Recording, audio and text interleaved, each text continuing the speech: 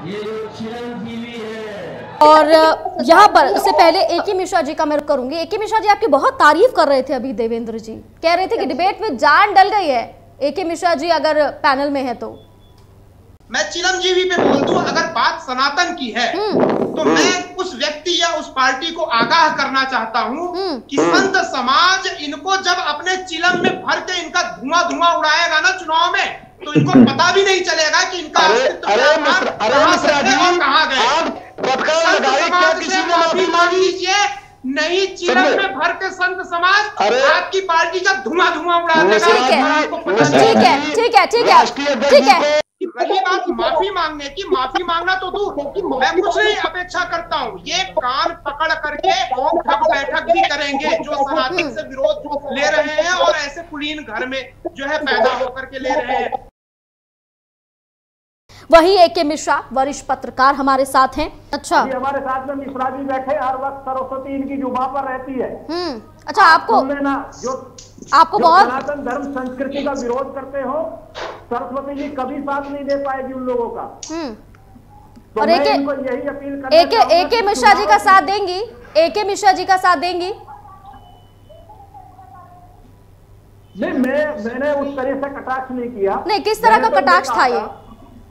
मैंने तो ये कहा था कि बड़े बुद्धिजीवी आपने अच्छा। मिश्रा जी को बैठा कर डिबेट में बड़ी जान डाल दी है। अच्छा। मिश्रा जी का देव दर्शन आसानी से नहीं होते। आज अच्छा। बड़े दिन के बाद मेरी डिबेट इनके साथ हो रही है मेरा नमस्कार भी है। और महाराज जी बैठे उनको भी मेरा प्रणाम है। चलिए ठीक है तारीफें बहुत कर दी आपने। आप देखेंगे कि ए के मिश्रा जी किस तरह का विजन जो है अपना रखते हैं। चलिए ठीक है। और यहाँ पर इससे पहले ए के मिश्रा जी का मैं रुख करूँगी। ए के मिश्रा जी आपकी बहुत तारीफ़ कर रहे थे अभी देवेंद्र जी। कह रहे थे कि डिबेट में जान डल गई है। ए के मिश्रा जी अगर पैनल में है तो। आप ये बताइए कि ये जो चुनावी दौर में हो रहा है, चुनावी फिजा में जो शब्द निकल रहे हैं, जो अच्छे खासे एक नेता हैं, जिनका वर्चस्व कभी रहा था, जो एक कहीं ना कहीं अपने पूरी पार्टी का जनाधार लेकर चलते हैं वो इस तरह के शब्द निकाल रहे हैं? क्या ये सही? मुझे थोड़ा समय दीजिए।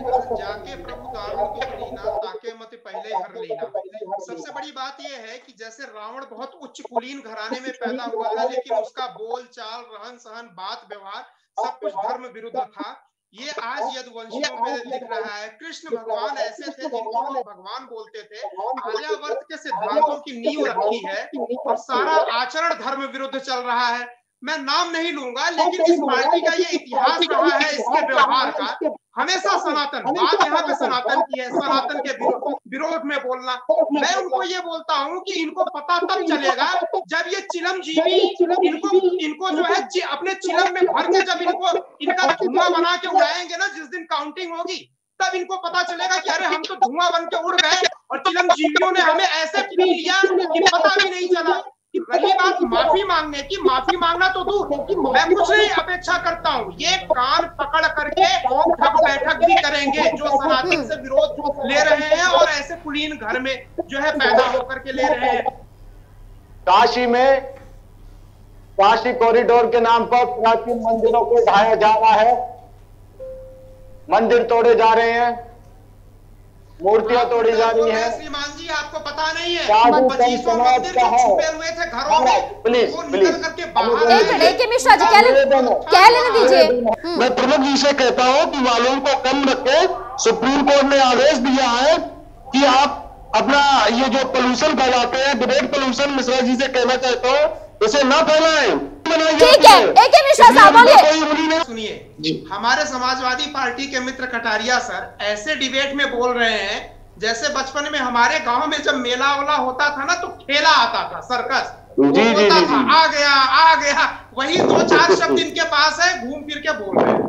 मैं चिरंजीवी पे बोल दू अगर बात सनातन की है तो मैं उस व्यक्ति या उस पार्टी को आगाह करना चाहता हूँ हम्म। कि संत समाज इनको जब अपने चिलम में भर के इनका धुआँ धुआँ उड़ाएगा ना चुनाव में तो इनको पता भी नहीं चलेगा कि इनका अरे अरे मिश्रा अरे कहाँ मिश्रा जी थे गए आप कल एक्सप्रेस में मांगिए संत समाज से अरे मिश्रा जी कल है। एक्सप्रेस में क्या? का पता नहीं है आपने और आपकी पार्टी ने कितनी बसें समाजवादी पार्टी का ये महिलाएँ? बोल रहे हैं कटारिया साहब! सुन लीजिए ना पहले। चुप सभा में अपने पिताजी के साथ माननीय और आपके पार्टी के लोगों को उसमें माफ़ी? मांगनी चाहिए माइक की छीना किसने सरकारी? संपत्ति का इस तरह इस्तेमाल करेंगे? पर उत्तर मुसलमान सरकार।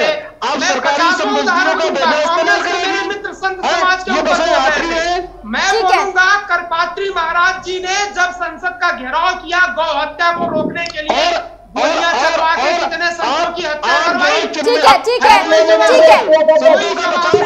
नहीं ऐसे नहीं समझ में आ रहा है। ऐसे नहीं समझ आ रहा। नहीं नहीं बिल्कुल नहीं। सुप्रीम कोर्ट ने फटकार आपको पता भी नहीं चलेगा आप कहाँ गए? कल सुप्रीम कोर्ट ने है चेंज समाज से ने माफ़ी मांग मांगी। लीजिए नहीं समझे? में भर के संत समाज अरे। आपकी पार्टी का धुआँ धुआँ उड़ा देगा। ठीक है। ठीक है ठीक है ठीक है। ठीक है।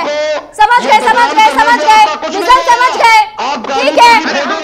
किसी को नहीं कर रहे अरे किसी शांत रहिए ना। कटारिया साहब तो बोलने नहीं देंगे किसी और को। हर भारतीय के लिए मर मिटने की बात है। कोई भी सरकार आने वाली आदमी ऐसे बयान कैसे ठीक है ठीक है मान लिया मान लिया मान लिया। पता है सरकार इस पैनल में इस पैनल में सुन लीजिए इस पैनल में महान जी भी बैठे हुए हैं उनकी भी सुन लीजिए। जिसके पास विद्या नहीं है वो पशु थोड़ा तो- और- और जिस लगता है जिस अरे मिश्रा जी, आप भी चुप हो जाइए। मिश्रा जी। ही है।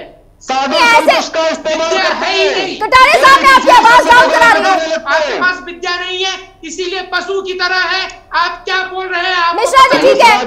मिश्रा जी कटारिया जी आपकी आवाज़ डाउन करा देंगे मैं आप चुप हो जाइए दोनों। सरकार जाने वाली है। अरे मान जी बैठे, उनकी भी सुन लीजिए। सरकार आने वाली है। अभी बहुत समय है सरकार जाने में सरकार आने में। रुक जाइए एक मिनट। है। वही सरकार। आने वाली है। संपत्ति को त्यागी साहब कुछ कहना चाह रहे हैं। अरे दूसरों की भी सुन लीजिए ना। 2017 वाली आप मुझे नए दीजिए। कल सुप्रीम कोर्ट ने कड़ी फटकार लगाई राज्य सरकार जितना जितना? कटारिया साहब कटारिया साहब। जितना आप यहाँ बोल रहे हैं ना पैनल में उतना अगर आप काम कर लेते तो सत्ता में आ जाते दो हज़ार सत्रह में। वो इसके लिए सुप्रीम माननीय उन्होंने सुप्रीम कोर्ट already ने ने ऐसे तत्वों के लिए लगाया था। बड़ा सम्मान का काम कि मंच पे सार्वजनिक सभाओं में प्रदूषण नहीं फैलाना चाहिए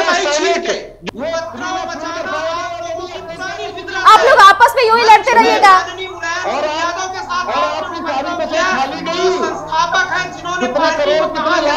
आप लोग क्या। कर रहे हैं? उपद्रव मचाते हैं। आपकी सरकार रहती है तब उपद्रव मचाते हैं। एके मिश्रा जी! उपद्रव आपका वहाँ पे देख एके मिश्रा जी शांत हो जाइए बहुत देर हो गई। मंच पे जाके प्रधानमंत्री मोदी जी से निवेदन ठीक है, शांत। तो मंच साझा ठीक है ठीक है ठीक है। बहुत देर हो गई नहीं आप शांत। वहाँ अभी आप कह रहे थे छह सौ पे। 600 ब्राह्मणों का इनकाउंटर हुआ है क्या समझाने की बात कर रहे हैं आप? क्या समझाना चाह रहे हैं?